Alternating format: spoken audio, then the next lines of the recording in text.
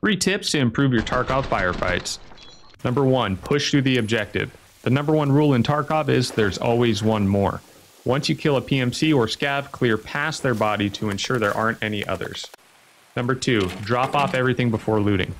If your kill is in an exposed area, drop all of your gear in a safe place before looting. This enables you to quickly grab everything off the body and search it in a safe location. Number three, use grenades to break contact.